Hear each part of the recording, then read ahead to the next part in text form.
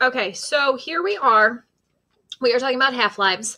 And uh, a half life is the amount of time it takes for one half of a sample to decay. And it is decaying because it is looking to become more stable. I'm sorry, my dog was crying. I had to give him a yogurt container. Um, so he's in the background making noise, again, I apologize. So I think the best way to teach half lives is just by example. So that's what I'm going to do here. Um, on the left side of my screen, I have a question. And it says, in the past, some paints that glowed in the dark contained zinc sulfide and salts of radium 226. As the radioisotope 226 decayed, the energy released caused the zinc sulfide in these paints to emit light. The half-lives for uranium, I'm sorry, radium 226 and two other radioisotopes used in the paints are listed on the table below. The first question is, what fraction of the original radium 228 sample remains unchanged after 17.4 years? So this is how you do a half-life question. It's stuff over time. Go with me. We need to figure out how much stuff is still radioactive after 17.4 years. This is how we set it up. We are also going to need a reference table here. We draw a line. And in this case, the stuff needs to be written as a fraction. So in this case, it will be fraction over time. When this stuff is decaying, I'm going to start the clock. Boom. When you start a timer, the timer starts at zero. Oops, where'd the zero go? Okay, so we have zero, and we have 100% of our radium sample. We have all of it. The fraction for all of it is 1 over 1. Now, the question is, what is the half-life of radium-228? Well, that information can be found in the reference tables on table N. Yes, N. In table N, where is the slider? In our radioisotopes thing, we have um, all of these elements, radioisotopes. We have both the name of it and its um, symbol.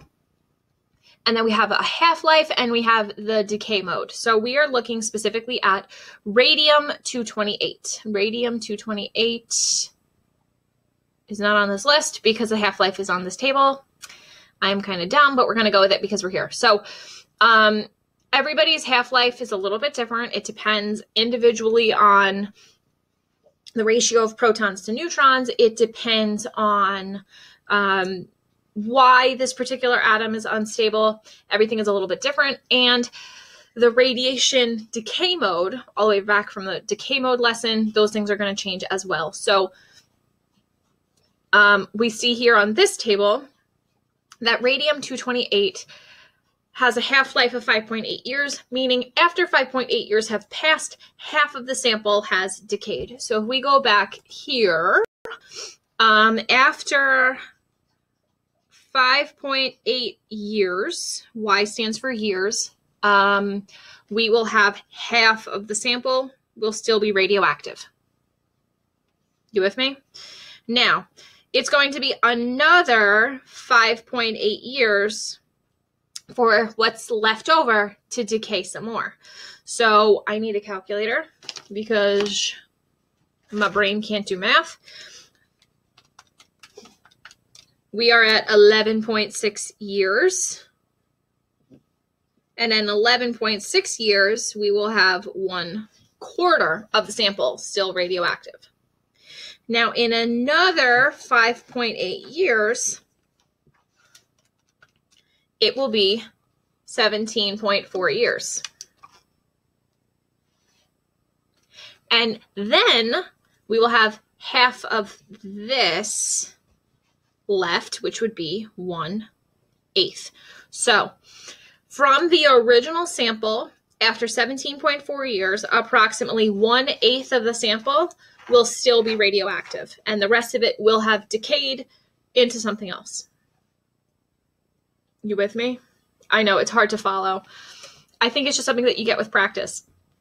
Remember, the half life is the amount of time it takes for half the sample to decay, and that's why the stuff gets cut in half each time. And on the time, we are just going to add the half life starting with zero. Um, you may remember this from earth science as well. I know a lot of um, earth science teachers do this with um, like geological dating. So the next question is complete the following equation for the beta decay of, oh, that's not even a half-life question, so we're going to skip that for now.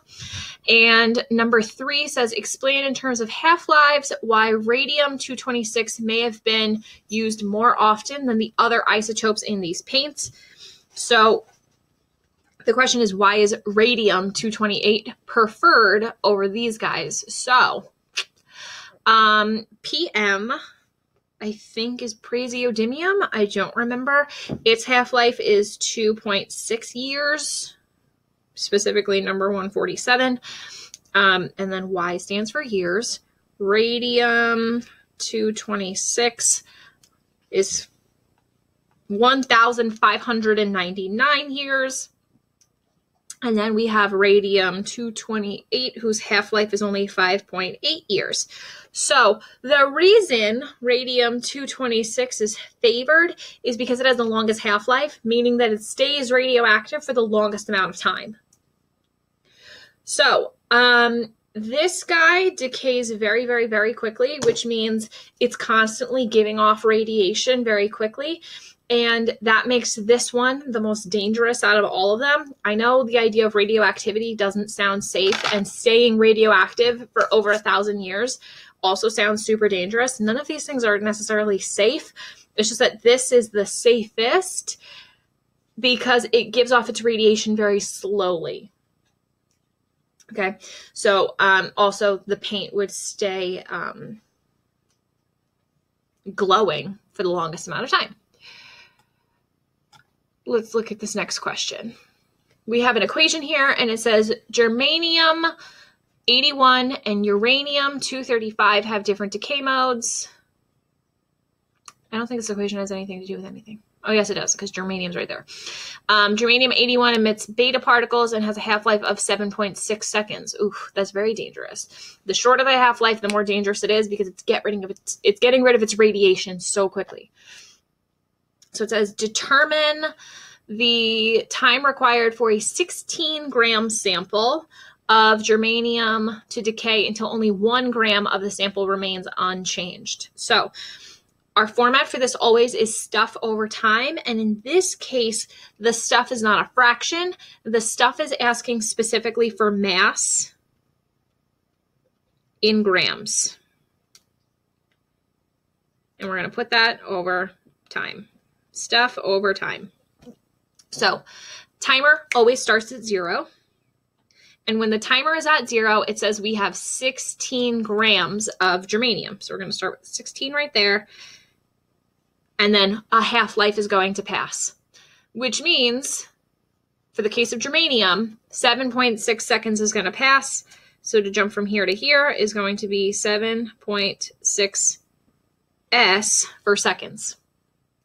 So after 7.6 seconds, the stuff gets cut in half because it's a half life. So 16 divided by 2 would give me 8 grams. That means 8 grams of my stuff is still radioactive. In another 7.6 seconds, it would be 15.2. Yep, 15.2. So after 15.2 seconds, just four grams of this stuff is going to be radioactive. Then we're going to add another 7.6. And now we are at 22.8. My stuff gets cut in half. So now we're down to two. Two grams are radioactive. And then Another half-life will pass and we will be at, I have to write it sideways a little bit because I'm out of space here, but this is 30.4 seconds and only one gram of my stuff is going to be radioactive at that point. So determine the amount of time. That is 30.4 seconds. You with me? So this thing is really crazy dangerous because it is giving off so much radiation in such a short amount of time. So that makes this much more dangerous. Um, ba, ba, ba, that's another fraction question. I don't really want to do that. I would like to do a percent question. Maybe we can just change it. That's a fraction question. okay, that's fine. We can do another fraction question. So here we go. Um, the diagram below shows the first three steps in the uranium-238 radioactive decay series. So this says uranium is going to turn into thorium, and then thorium is radioactive, so it needs to decay again. And then it turns into PA, and I don't remember what the name of that is, but it turns into PA, and then PA is radioactive and it needs to decay again, and then it turns into a different form of uranium. Notice this one is uranium 238, and this one is 234. Um, says the decay mode for the first and third steps is shown above the arrows. The decay mode for the second step is not shown in the diagram, but thorium 234 has a half-life of 24.10 days. Determine the total time that must elapse until only 1 16th of the original sample of uranium 234 remains unchanged. So we are starting with um, thorium. A lot of this information is not necessary to answer this question, honestly. But we're looking at thorium 234 and we are doing a fraction. That's how we're measuring our stuff. So we're doing um, fraction over time. And the timer always starts at zero.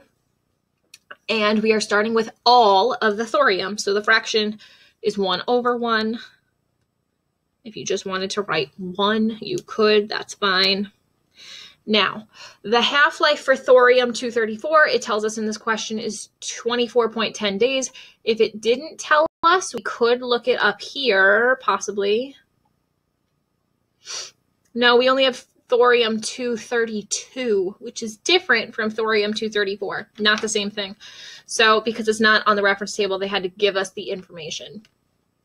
So, um, this is telling us that after 24.10 days, half of our sample is going to be broken down. So we just add 24.10 for the time, and now we have half of our sample. Some kids like to do it um, one like chunk at a time. Some kids like to do all the fractions and then go through and do all the times. Whatever works for your brain is fine. Um, so now we're going to go another 24.10 days, which is going to give us 48.2 or 48.20. And at that point, we have half of our sample again. So half of a half is a quarter. Sometimes they ask for this as a percent. So this would have been 100%, then 50%, then 25%. And if you're not good at the math, just put it in a calculator. Just divide by two each time. So now we're going to go another 24.10 days because we are trying to get to 1 16th of the original sample. So after another 24.10, now my brain is starting to break. I need some calculator help. This is going to give me 72.3 days. And at that point, we will have 1 eighth of our sample. And then after another 24.10. We are up to 96.4 days, and that is when we will have 1 16th of our original sample. And that's how you do half-lives. Um, there's something I wanted to add. Oh, just like a general formula. So here we go. General formula for half-lives is this. No matter what type of half-life question they give you, you can do it this way. You can do stuff over time.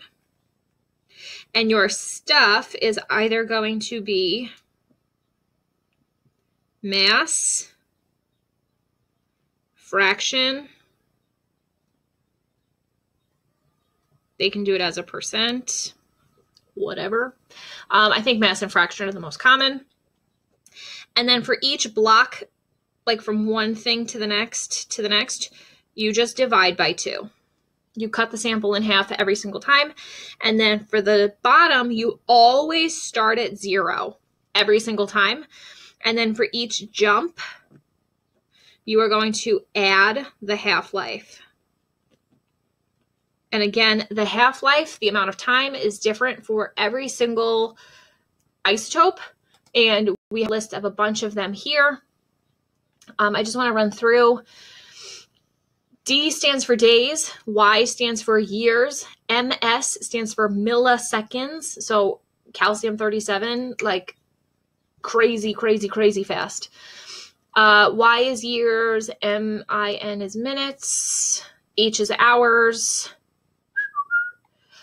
Times 10 to the fourth years is a thousand, no, 10,000 years to the fifth, to the tenth. This is like billions of years. I think that's 10 billion. It's a lot. Um, if any point you don't remember what these um, units are, they are on the front cover of the reference table.